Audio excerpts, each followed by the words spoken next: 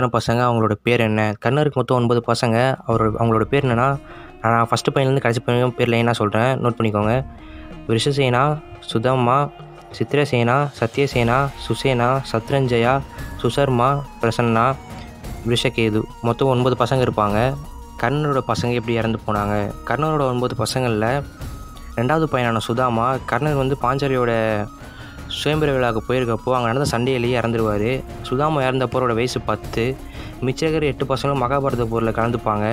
அந்த போரில் சித்திரசேனா சசி சத்யசேனா வந்து பீமன் கையாலையும் சுசேனா சத்ரஞ்சயா வந்து லஸ் நகுலன் கையாலையும் சுசர்மா பிரசேனா வந்து சகாதேவன் கையாலையும் இறந்து போவாங்க.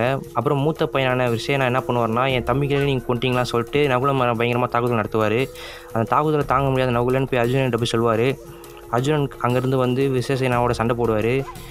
விசேசேனா விடுற பத்து அம்பில் பத்தாவது அம்பு வந்து அர்ஜுனோட தோள்பட்டை கிழிச்சிட்டு போகும். அந்த கோவத்தில் அர்ஜுனன் என்ன பண்ணுவார்னா கர்ணர்கிட்ட என் பையன் அபிமன்யுவன் எப்படி கொன்னியோ அதே மாதிரி மூத்த பையனை நான் கொள்ளுவேன்னு சொல்லி பத்து அம்பு விட்டு கொள்வார் கர்ணன் சாவறதுக்கு முன்னாடி அர்ஜுனன் கிட்ட ஒரு சத்தியம் வாங்குவார். தன்னோட கடைசி பயண விஷயகேது நடந்த மகாபாரதம் போரில் கர்ணனோட எட்டு பசங்க கலந்துப்பாங்க. அதில் ஏழு பேர் செத்து போயிடுவாங்க.